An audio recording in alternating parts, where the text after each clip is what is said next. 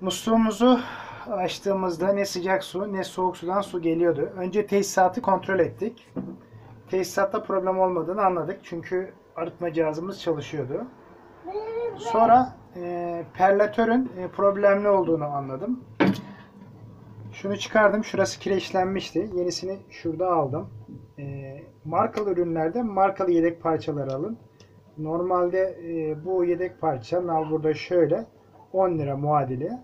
Bu ECA'nın olduğu için e, bunu biz e, şunun içini sadece içini 15 liraya aldık. Komplet seti 50 lira. Bunu takıyorum. Hatta takmadan önce bozulduğunda suyun nasıl aktığını göstereyim ben size.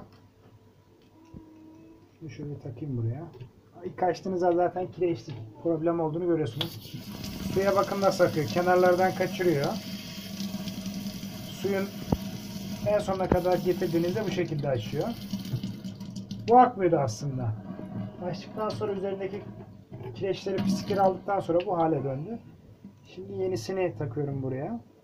Çok kolay. Şunu şuraya takıyorum. Şu contayı güzel yerleştirirseniz şuradan su kaçırmaz. Taktım. Aynı zamanda e, bunda hasar olduğunda şöyle bir ses de geliyor şuradan kaldırdığınızda bataryayı aç kapa. Go go go go go go sesler geliyor. E, önce bunu değiştirin. Bak böyle sesler geliyor.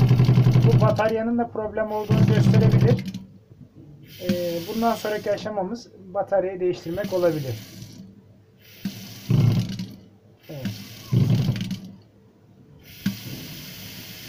Soğuk su tarafında problem yok. Böyle geçişlerde problem yok.